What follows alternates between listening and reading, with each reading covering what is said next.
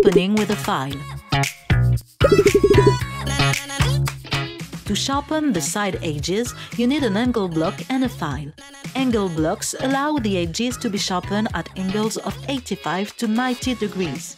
The smaller the angle, the sharper the edge.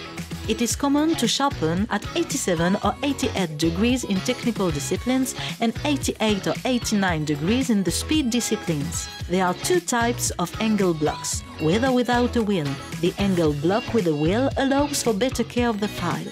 We have 10 models of files. It's up to you to test and define your preferences. In general, opt for 150mm file if your equipment is maintained regularly and a 200mm file if the maintenance is periodic.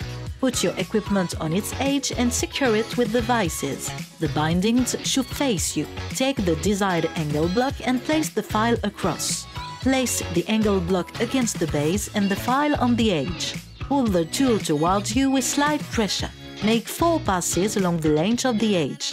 Be careful, do not exert pressure in the return direction, pressure only when you pull the tool towards you. Your edges are sharpened.